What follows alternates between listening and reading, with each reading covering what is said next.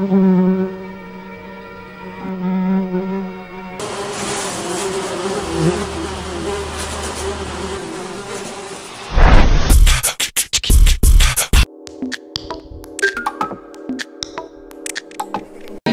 tu peux faire des photos d'identité avec, euh, avec la caméra après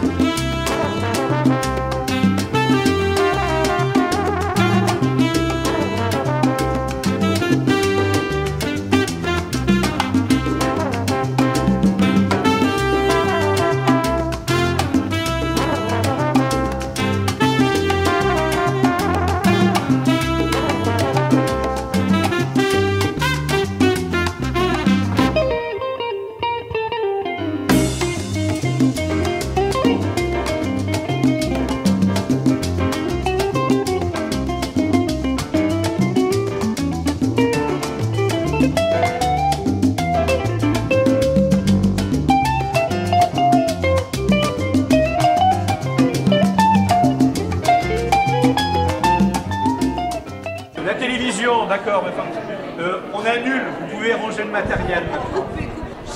Bonjour, donc Madame Dos Santos, vous êtes euh, un peu à l'origine de, de ce qui se passe ici ce soir dans le cadre de l'UNAFAM. Est-ce que vous pouvez un petit peu nous parler de la manifestation? Alors, on est surtout dans le cadre des semaines d'information sur la santé mentale.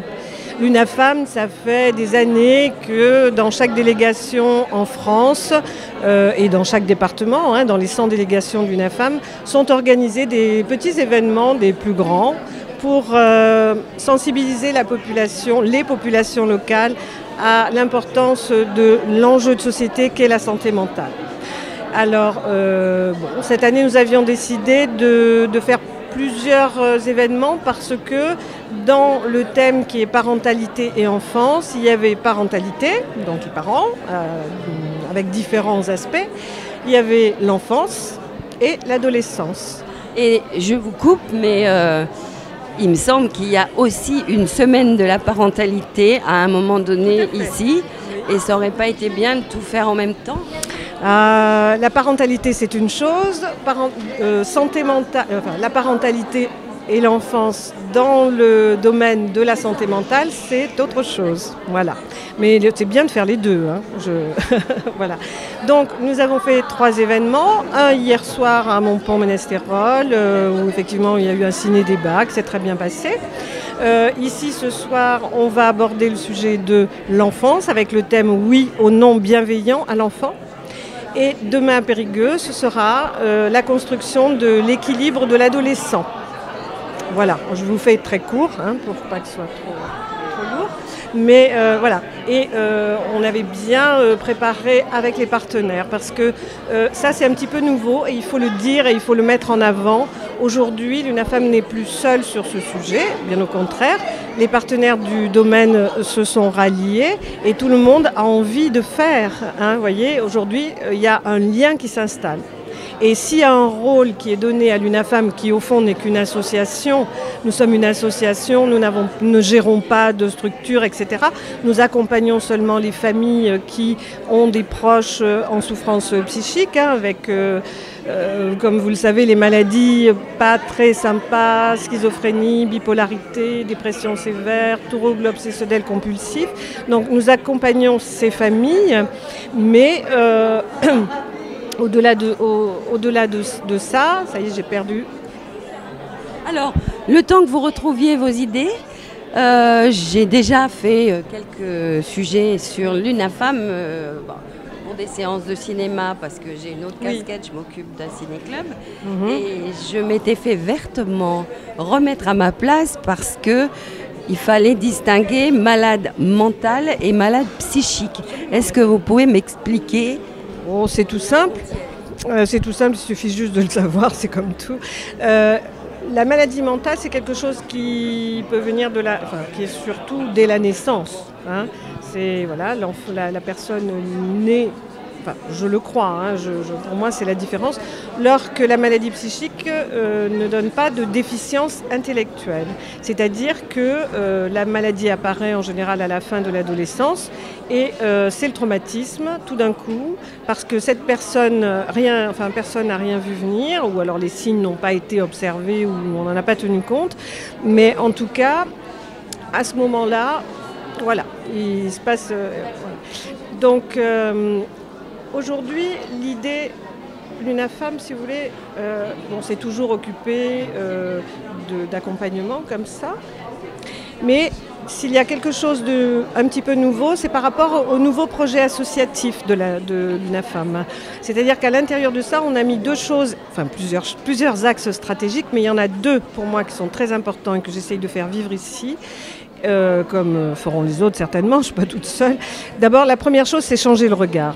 Changer le regard sur ces pathologies, c'est la première chose parce que si on ne change pas le regard, qu'est-ce qu'on fait derrière? Tant que les gens ne seront pas mis à l'écoute, tant qu'on ne voudra pas nous regarder autrement que euh, des personnes qui sont différentes, parce que euh, la maladie touche l'usager, mais évidemment la famille aussi. hein. et donc tout ça, c'est un isolement autour, et voilà. Donc, euh, qu'est-ce que je disais? Donc, vous laisser réfléchir un peu et interroger votre intervenant, peu- Monsieur Bertrand Quentin. Alors, je me suis un petit peu renseignée sur, sur Internet. euh, et d'après ce que j'ai lu, vous vous occupez d'éthique médicale. De, de- j'ai vu que vous travaillez sur les, les philosophes et la mort. J'ai vu que vous aviez écrit sur Hegel. Et sur. euh, qu'est-ce que c'était le troisième truc que j'ai vu? La philosophie face au handicap. le hand- Et voilà, c'est là que vous arrivez ici, si j'ai bien compris.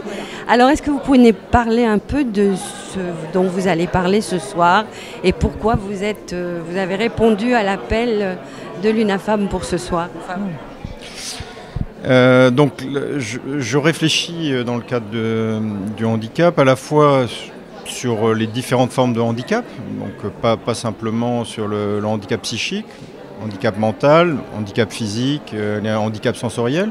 Et j'essaie de réfléchir à, ce qui unifie, ce qui peut unifier le concept de handicap. C'est une vraie question philosophique et sociologique. Et puis ensuite, je suis dans ma réflexion capable de distinguer quand même les, différents types de handicap et ce que ça a comme conséquence.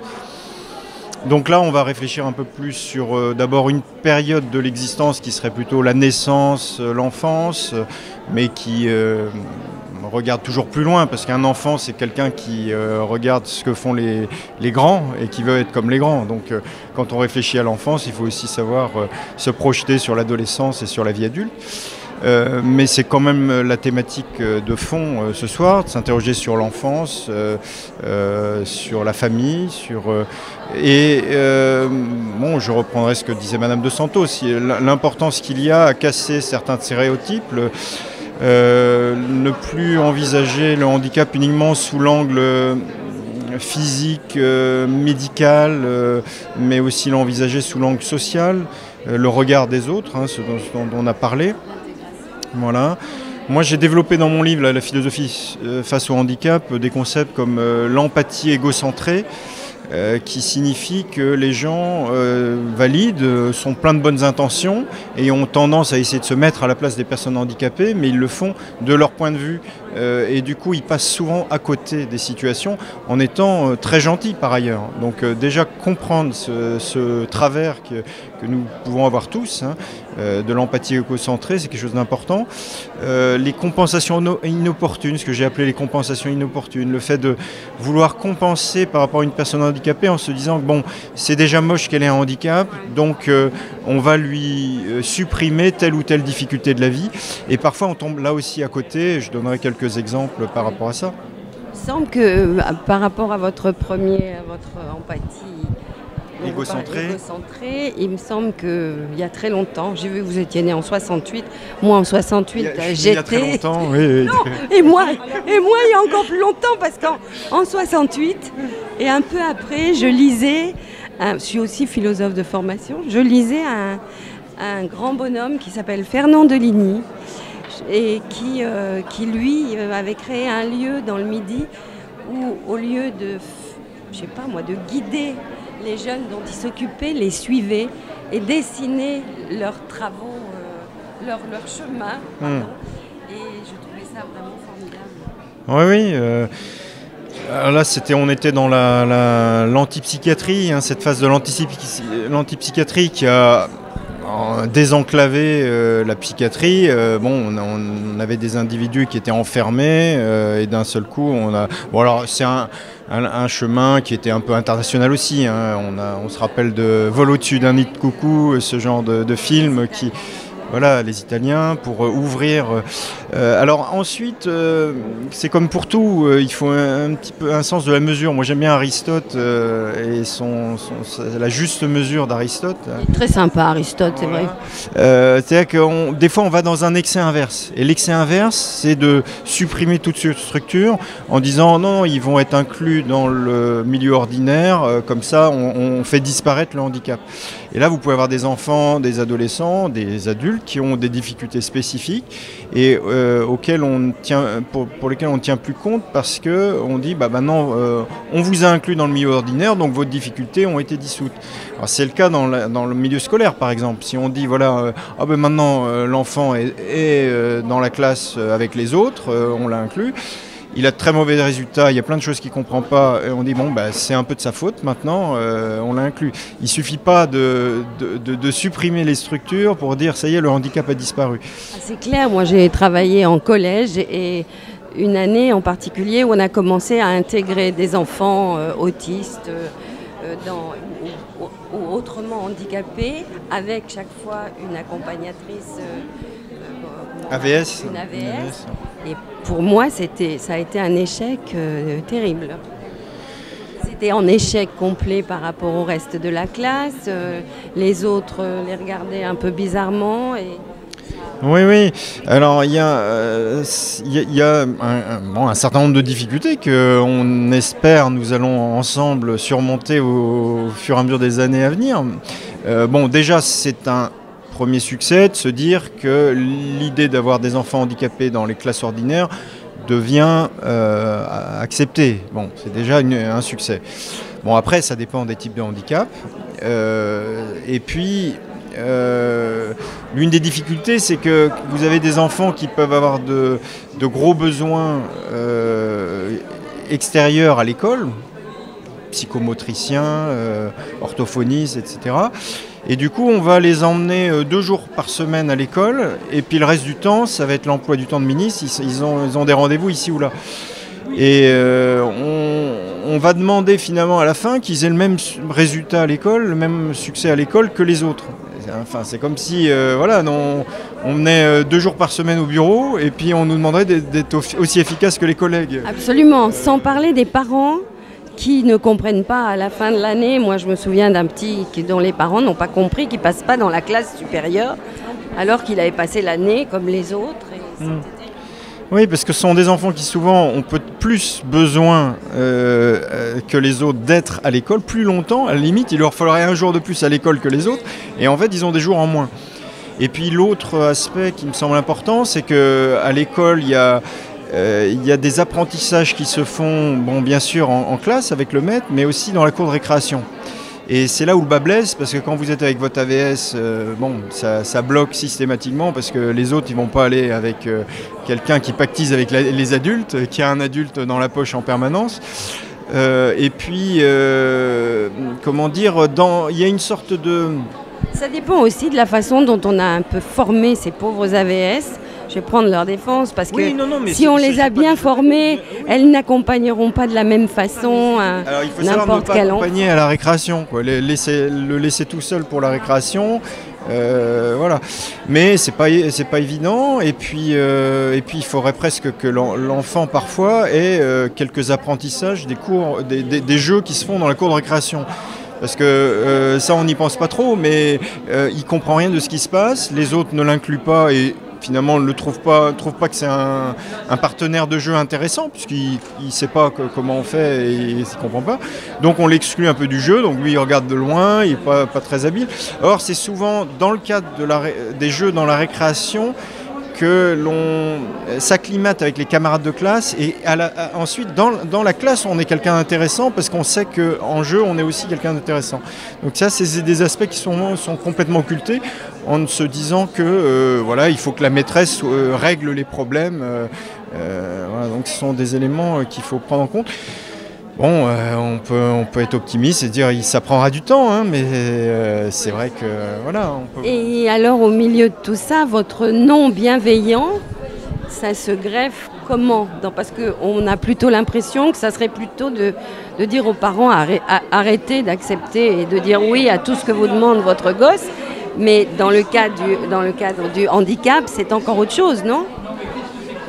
Le, le non bienveillant, justement, euh, c'est euh, le non mais, le non accompagné euh, de façon bienveillante. Voilà, hein, c'est ça. Et c'est surtout quand même de ne pas, de, de ne pas trop, enfin, de toujours donner un cadre à l'enfant. Et si on lui dit pas non, on lui donne pas de cadre. hein.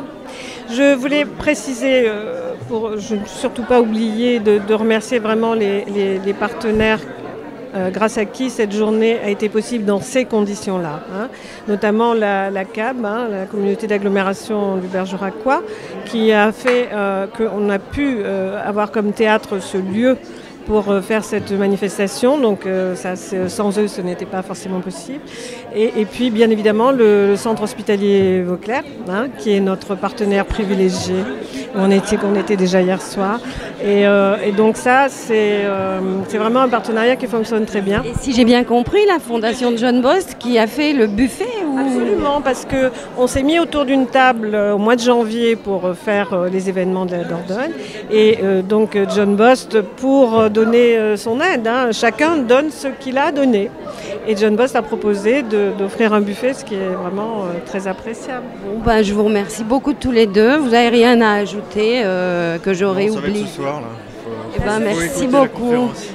La seule chose que j'ai envie d'ajouter, c'est que ce soir, on a une question à se poser, c'est est-ce que euh, qu'est-ce qu'il y a de plus important que le bon équilibre et la bonne santé de nos enfants et de nos petits-enfants? D'accord avec vous. Merci beaucoup.